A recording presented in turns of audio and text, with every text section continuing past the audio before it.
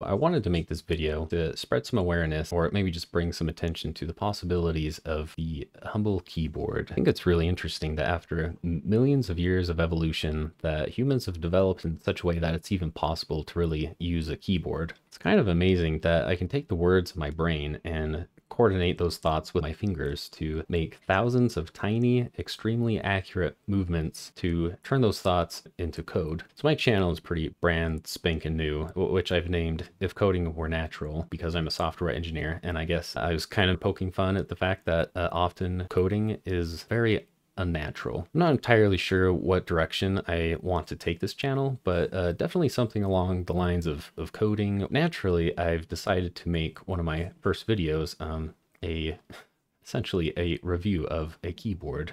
I, I bet if I asked the, the average software engineer, um, sorry, not average, if I took a random sampling and asked them, what is your number one productivity tool that's not your computer and isn't a piece of software? I bet that for most people, their keyboard would not come to mind. And I think this is because keyboards aren't really thought of in that way. They're just a, a thing that you need to use to do your job. But if you're going to use a keyboard, then you might as well try to maximize what you can get out of it. You, you've probably seen this coming by now, but one of the tools that's become an indispensable part of my toolkit is the Moonlander Mark 1. I've kind of touched on this, but a programmable keyboard is what makes the magic happen because you can program it to fit your exact needs. For example, I uh, frequently I want to highlight all of the text to the right or left of my cursor, but it, it's kind of awkward to push a command and shift and then find the, the right arrow button. It just feels uncomfortable. So let's fix that. And then I'm going to pick these two keys. These ones right here, they're, they're kind of like arrows. So I'm going to put the, the keys right here. Here we go. I got it. Now I can just go to my movement layer and, uh, oh yeah, that's, that's a lot nicer. As another example of being able to fit things to my specific needs, I, I write a lot of JavaScript and TypeScript at my job. So I'm uh, constantly writing arrow functions, uh, which if you don't know what an arrow function is, it's just something like, uh, oh my gosh, that you make this arrow thing. Before getting the Moonlander, I had already gone pretty quick. It was a very automatic movement to press those two keys. But since I've got this keyboard, I've assigned those two keys on my symbols layer right here and here, the J and K. And uh, that makes that movement even faster than it was before. But now it's also a lot more comfortable. And speaking of comfort, the, the Moonlander is a really comfortable keyboard to type on, primarily because of the thumb cluster. I actually deal with a lot of elbow and wrist pain because of an injury that I sustained back in high school. And the constant movement of pressing the enter key on a, a normal keyboard, uh, it used to be really irritating. And, and, this was actually the reason why I got the Moonlander in the first place. And it's not like, you know, I could have been just a normal person and gotten an ergonomic keyboard. Just kidding. I actually got the Microsoft Sculpt and I hated it. Anyway, unlike a normal person who would have just gotten a, a better ergonomic keyboard, uh, like the, you know, the normal kind of ergonomic keyboards, I, I, jumped straight into the Moonlander and I, I don't regret it. Sorry about the tangent, but anyway, here's the general idea I would aim for with this keyboard specifically.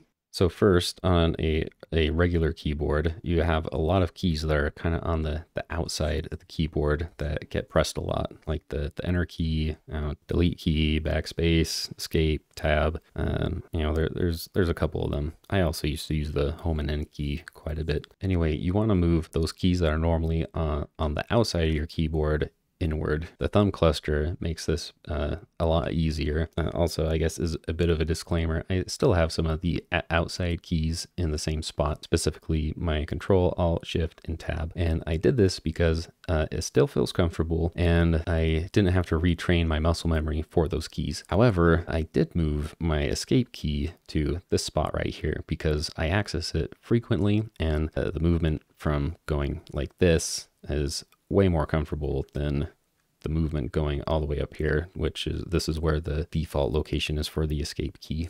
The second thing is to use layers. Uh, you'd be crazy not to use layers on this keyboard, uh, but uh, this keyboard has uh, actually fewer physical keys than normal keyboards. Uh, well, I guess when I say normal keyboards, I'm thinking of something uh, like this. Anyway, I try to group my layers by functionality. So I have a, a layer for symbols and I have a layer for like my utility type functions or controlling different aspects of my keyboard. Sorry, that's this layer. And I have a layer for accessing applications. And I also have a layer dedicated to my number pad, as well as a layer right here that I use to practice Colemak. Anyway, that should be a pretty obvious tip. Use layers. For tip number three, don't aim for complexity. You can get really complex with this keyboard. I personally don't recommend that you do that. You should aim to make your layout easy for you to remember.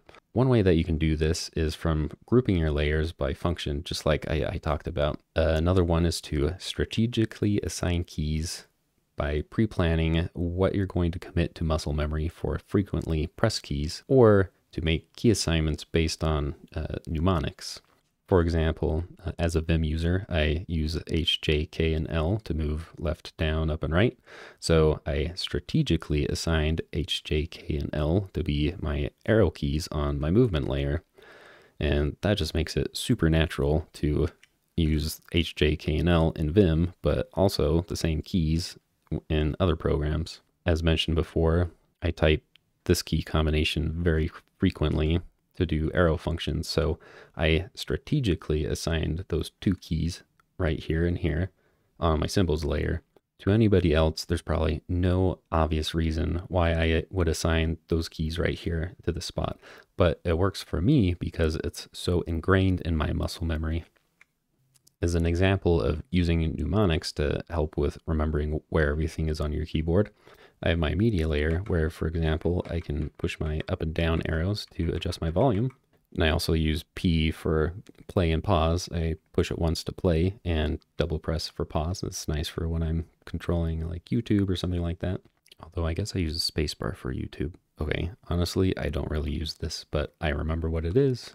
I also have my apps layer. So when I come here, I push P for Postman, O for OBS, M for messages, and I also can double tap it to go to music, N for Notion, and also double tap it to go to just the, the Notes app. And I have things like C for Chrome, F for Firefox, T for Terminal, Z for Zoom, S for Slack. And that makes it very easy to switch between the different applications that I am frequently opening. The goal of this video was not to be an in-depth guide or review on the Moonlander, just to bring light to the fact that there's likely a lot of untapped potential in something as boring as a keyboard. As programmers, we often focus on improving a lot of different things, but when was the last time getting better at using my keyboard uh, make your list? I mean, you use it every day.